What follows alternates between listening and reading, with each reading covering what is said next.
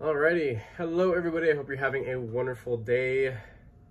I am doing a little spring cleaning and I hate having to do this because all these knives I love. I get to check out so many cool things, uh, whether it's seeing it on other people's channels, people sending me stuff. Of course, 90, 90% of what I share with you guys, I purchase with my own money. So this is a very expensive hobby. But one thing that I've absolutely fallen head over heels for is modification.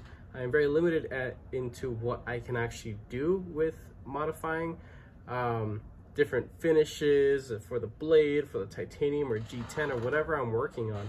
I want to invest in more tools so that one day I'm actually able to do a small custom shop and open it uh, to, of course, all my wonderful viewers. Or if you guys have people who want to get into the hobby and you're like, hey, buy this wonderful little platform of a budget knife. It's like 30 bucks. And for however much more, you can make it look completely unique and super special and unique to you. If Because there are a lot of people that like doing that kind of stuff. A knife, while it is a knife and a cutting implement, there are a lot of people that fall into the category of an enthusiast, right? That's why we're all here. That's why you're watching some dude like me talk about freaking knives and why I'm selling them. Um, if you're new to knives, you're gonna see that the price range is all over the place. I will not actually be talking about pricing because I don't have time to do that and I'm still gonna figure that out. There are extras. Some stuff here has been modified, but uh, it's gotten to the point where some of the stuff is really just pocket jewelry and has been not really used recently and I'm willing to let it go for the purpose of moving into a slightly different avenue in this wonderful hobby that is the knife community, the EDC community. I want to be able to do more stuff for you guys, but I'm definitely not made of money, that's for sure. So if anybody's interested in these kinds of things, please don't ask pricing in the comment section, please. I will just end up verbally directing you to Blade Binge. If I refer to it as Nafsel, I'm sorry. I called it Nafsel for like over a year and I've done so much business with him, but uh, now it's Blade Binge. So I'm gonna take you guys down below. There are nine knives and I'll show you all the little goodies that have been done to it, the things that it comes with, things that it won't come with, um, and just the current state, a nice up and close of the actual state of each piece. And in each listing, I will be linking this video down for anybody who is not a viewer or isn't even aware that I have a channel and is just, uh, you know, purchasing things because I've actually had a lot of people purchase stuff for me that have no idea that I have a small channel. And that's completely okay. And that's how you gain people through social media platforms. And I would consider Blade Binge to be kind of a social media platform. It's very, uh, community oriented and I absolutely love the platform that is. So let's go ahead. I'm gonna show you guys what's up. Alrighty, so everything is kind of spread out around the centerpiece of knives. Um, I'm gonna kind of just move a couple things around. I set it up this way just to take a thumbnail picture, but some of these knives have things that kind of belong to it in a way. Um, but yeah, this is it. So my size comparison PM2, it's going away unfortunately. Um, full size RSK with original goat scales going away. My Hinderer XM18 3.5, Choil. The Devo Buzz has its extra scales and the ones that I customize. This Kubey Vagrant, my Wharncliffe Elementum. It was also another size comparison knife. The Vosteed Knives Thornton, that one's going away the Miguron Knives Moyarl, the crossbar lock, that one as well. And then this big hunkin' freaking uh, white start knife is going away. So that's of course if they sell. But uh, I guess we can go ahead and start. I'm just gonna leave these here because they're not really in the way much. My camera does a decent job at focusing. So this is a PM2, right? Nothing super special. This was the S90V variation. I forgot what retailer I picked it up from. It might have been DLT Trading back in the day. It originally had the Tiffany or teal uh, G10, the peel ply texture G10, so they're not the smooth ones, but these are factory Spyderco uh, scales. It has the black uh, lanyard tube and the original clip. Uh, it wasn't really carried too much in this form, but that will of course be available for whoever purchases this. So the scales that are on here, including the clip, bring the price up significantly. But I do want to put in the listing that if anybody's interested in the knife with the original parts installed on it, I will have that as a separate price on the listing. Just please read the price. I'm going to have the price as, you know, as is here and include this, but early in the listing, I will state that if you want just the knife in its original state without all the crazy fancy modifications, it'll of course be at a much lower price point.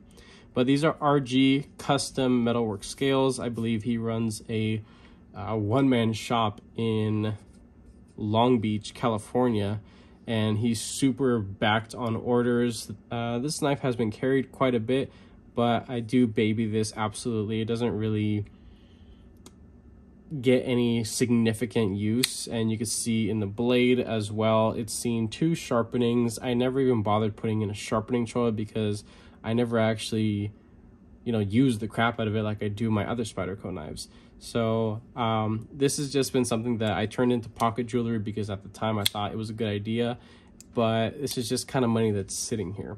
So of course you have the semi-polished radial sun pattern with the matching polished titanium clip. Absolutely freaking beautiful. Um, I've had this knife for quite a while and it is broken in quite well. So that's nice for whoever does pick it up. This little lanyard tube filler here. I believe this is a piece of crystal mokuti and so it's uncolored it's in its raw state uh, it's made by Metonboss and um, if you guys are familiar with that name and the maker they have a shop that deals in all types of super high-end materials different crazy fit and finish everything made in the US which is really cool so this is a full high-end Spyderco PM2 in S90V um, and of course with its extras. So let's set that guy off here to the side so we can focus on the next piece. This is my full-size Doug Ritter RSK MK2G2 whatever quadratic equation shit. Um, this is a wonderful knife. It really is. I just don't use it as much as I probably could. Um, one of the main issues with this knife was that I had busted Omega Springs on this so many times, but I finally found a source to get good Omega Springs, and they've been in here, uh, you know, pretty pretty long for the most part, and it's just fine. Of course, this is still running on washers. You can't really do anything about that. Uh, it's seen two sharpenings probably, but as you can see, there is still plenty, plenty of life to that edge and the knife overall is in absolutely wonderful condition. The only thing is, I, I do want to mention, there are tiny, tiny little scuffs there. Scuffs, not deep scratches, so the black hasn't worn off. Um, and that's really it. Um, also, these are full contoured diamond uh, textured scales, titanium from OG or original goat. What I do have left over, and it'll come in this little baggie, uh, these are four body screws that were extras. Original goat sticker, a little card, and an extra set of Omega springs for that size of crossbar style lock. So that is that guy. Um, that uh, full-size RSK used to have the rare carbon fiber scales. I had sold those off a while ago because I just I didn't need them. They were just sitting around. So there is that guy. I wanted to anodize this, but I decided that it's just I, I don't need to if I'm gonna sell it because you know then less people want to buy it if it's you know a specific color. This beautiful beast right here, this is my Hinderer Knives XM18 three and a half inch uh, choil, I guess slicer. so this is the slicer shape. It's not the skinny, it's not the fatty or anything like that. It has a tri-way system. Uh, this does not have any special upgrades. It is just as is, but I did modify a lot of the hardware and the coloring of the scales. So I've anodized the lock side here as well as the clip. It was a purple and then I did a bronze over it as well as the filler tab all the hardware, while it may look colored uh, in ways of titanium, and of course the little backspace pieces here, um, they are all steel. I just flamed them so to color match and just kind of make this, you know, look essentially. Um, what I have in here are the bearings and it is stupid, stupid smooth. This is probably one of the smoothest knives in my collection, but that is also because it is a very hefty blade. And as you can see, it is very well broken in and super easy, super comfortable to reverse flick and has an incredible edge on it. So the blade uh, was not modified by me. This is their working finish and uh, I have some stickers. There's a Hinderer sticker. This is the person who assembled it. I figured Hinderer Crackhead fans will like that. And then, of course, the other parts of the tri-way system. I did have the washers in there. It was nice, it was cool, but I went back to bearings just just cuz. But uh, as you may know, or don't know, Hinderer knives come in a cheapy little cardboard box. Uh, if I do have a pouch, I will put this in a pouch because it has, you know, little things that can kind of move around and I don't want things getting shifted too much. So if I have a padded pouch, you will receive this in a padded pouch. If I do not have one at the time, it'll come very well secured uh, in a bubble mailer and then in a box because this is, you know, pretty high-end item. So Next one here, this comes as well with a butt ton of goodies. This has been on the channel for a long time. Um, I got these when they first were a pre-order item. So this is the Devo Knives typical little fake leather pouch with a little padding inside. You do have all the extras and goodies. None of these have been used except, except the pocket clip. I had used the po the extra pocket clip on another knife and it is no longer you know available to whoever picks this up so it has the wire pocket clip that comes on it i did go ahead and purchase the uh, premium material backspacer i think it is mokuti uh, not Zircuti, i'm pretty sure it's mokuti uh, but yeah, so that's a little extra piece there. The original backspacer is the black one. It's right there. And again, all extra little bits in there. I kept it with the same logo on the pivot and this is seen probably two sharpenings, maybe three, I can't remember, but it still has a pretty good edge. These are the original scales that it came with because this was the reverse tux variation.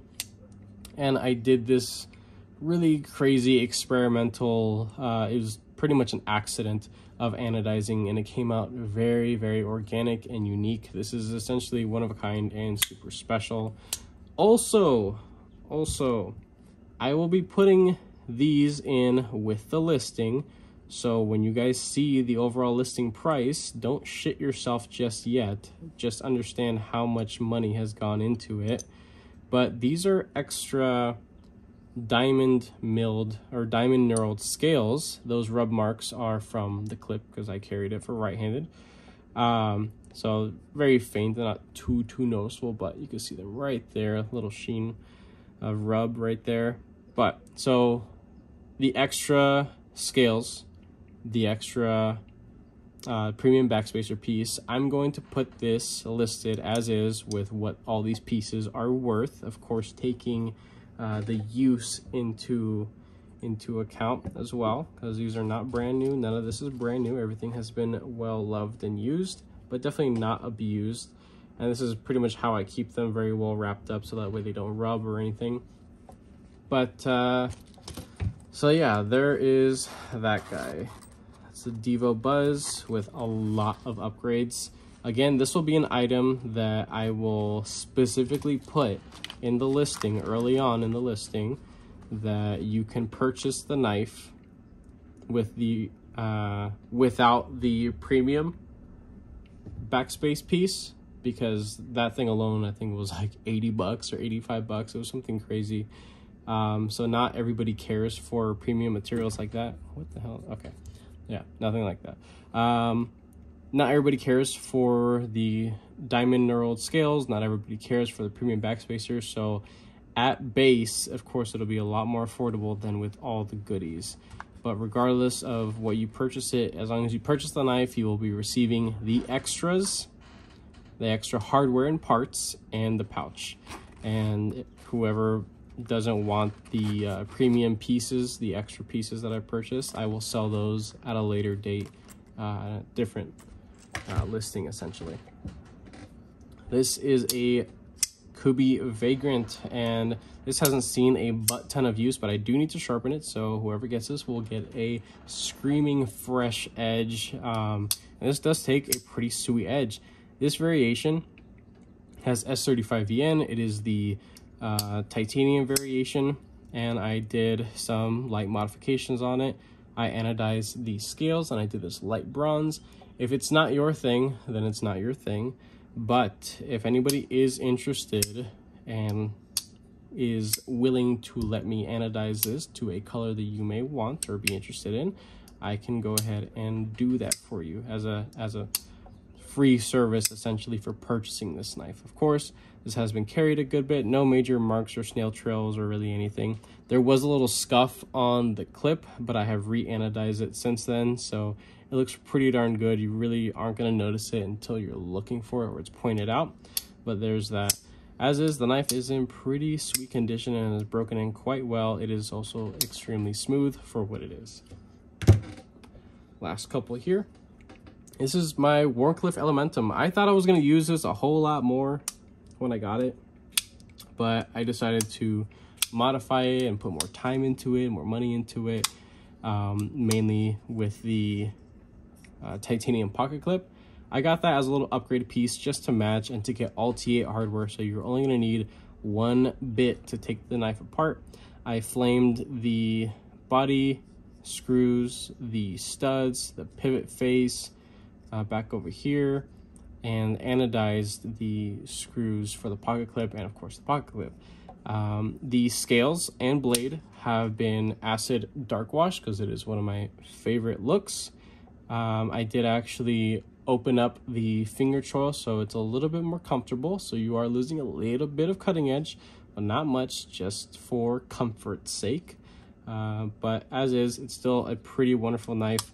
The only thing is, is that um, at least in my experience, Elementums are known for getting some detent lash relatively early on in their ownership. So this is really no different. Even after modifications, uh, there is still really the same amount of detent lash there, but it's damn near unnoticeable unless you're really, really nitpicky.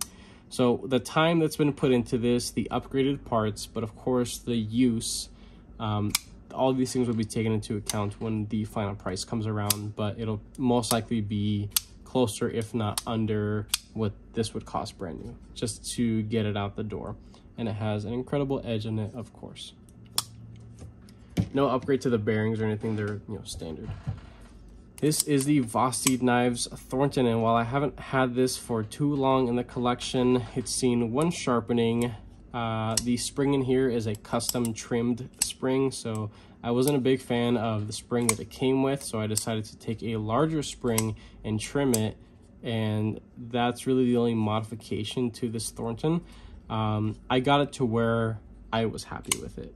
And this isn't a knife that, while, while I do pick it up to flick it a lot and play with it and maybe use it a little bit, I don't use it as much as I probably could. So as well. Uh, this variation, I believe, isn't available at the moment, and another batch is on the way, possibly. Don't quote me on that, not 100% sure, but this thing sold out damn near immediately, so I could see this moving quite fast. Um, no modifications to the blade, no major scratch or rub marks or anything like that. It looks like it's still in pretty sweet condition. Um, one thing, if just for nitpicky people out there, I do want to mention that uh, on my sharpening system. I have a wicked edge sharpening system. My stones aren't the best at getting really, really tight up to that, uh, to the edge right over here. So it does look a little funny right there, but that is really because of how uh, the manufacturer does the plunge grind. It's not super great, but it is really what it is. So as well, it will come with the little extra Wayne Sharp World tag and the sticker that it came with. I do not have the original box, unfortunately, but again, all those things will be taken into account. Um, also understand that a cardboard box is just a cardboard box. So that well. I'm on the side where it's really not worth anything because there are plenty of knives that are hundreds of dollars that do not come in a cardboard box. And it's nothing really memorable. So it's just a Vosteed box. But that will be reasonably priced as well. This guy right here. So I have a love-hate relationship with it. um, I hated it when I first got it. I love it now after putting a good edge on it and upgrading the Omega Springs. So what are in here are not factory Omega Springs because the factory Omega Springs are absolute dog shit regardless of what anybody says. um, so I put strong Omega Springs in here and as well I am including an extra set of the exact same Omega Springs just in case at no extra cost. Um, this thing hasn't seen a butt ton of abuse or anything like that. It's seen one sharpening. It's still in great condition. The pocket clip is damn near pristine and I would call it essentially a perfect pocket clip. All the body hardware is again in excellent condition, nothing stripped, nothing wonky.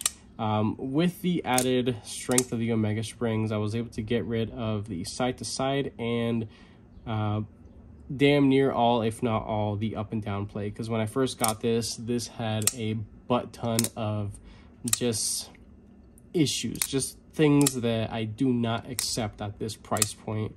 Uh, but after a very, very inexpensive little upgrade, all those issues have gone away and this is an absolutely wonderful little budget knife. I just don't really need it in my collection. Now if this was maybe titanium or maybe something a little bit spicier then maybe it might stick around a little bit longer. But uh, i think somebody might be able to enjoy this more than i have. So and of course with the added little goodie there. Last one here. This is just a behemoth of a knife. This is a Weisstart knife. I don't remember the model of it. They are super inexpensive, and I'm just going to price this just to get it the hell out of here. There's nothing wrong with it. Absolutely nothing wrong with it. It's just this is so much knife, and I just absolutely don't need it and do not have space for it. Um, so no side to side, up and down, non-existent. It has a little removable uh, secondary lock pin that you can go ahead and put into this side. Let's see if I can do it quick enough threads are okay. It's not, again, it's, it's not a premium knife. This is definitely a budget knife. But what's cool is that you do have a secondary point of contact and you cannot disengage it. Um, so this is a really hard use uh, budget knife. D2 blade material, but it does have a good coating on it. So it'll definitely last for quite a bit and stand up to some abuse. The blade stock thickness on this is freaking thick with three C's. Um, it is relatively robust behind the edge um, and to the tip. I mean, hey, you could probably pick some stuff out with that. So it's a pretty robust tip there. Um, it's just, again, it's just a large knife. It's full G10 handles with nested steel liners. There are some uh, pockets for weight relief, but not too much. This is still a really, really hefty freaking knife. But if this is something you like and just want to pick up on the cheap, um, just to beat into the ground and see what D2 can really handle, why not? Um, I never sharpened this. This still has a factory edge, and while the factory edge on it isn't too great, I didn't use it too much. So there's that. You are going to need a proprietary bit, or if you want to test your luck, you can use something else uh, in its place to unscrew it. I did use a small flathead to uh, unscrew it to get to the inside to clean it out. This has multi-row ceramic bearings, which is very impressive for the price of this knife. Uh, that's why it is so smooth. It is also a very hefty blade. So there's that. So that's that's it. That's freaking it. So nine knives. They all have a lot to them, most of them. And of course they will be priced reasonably, but of course not given away for free, that's for sure. I need to make money somehow. So that's really it.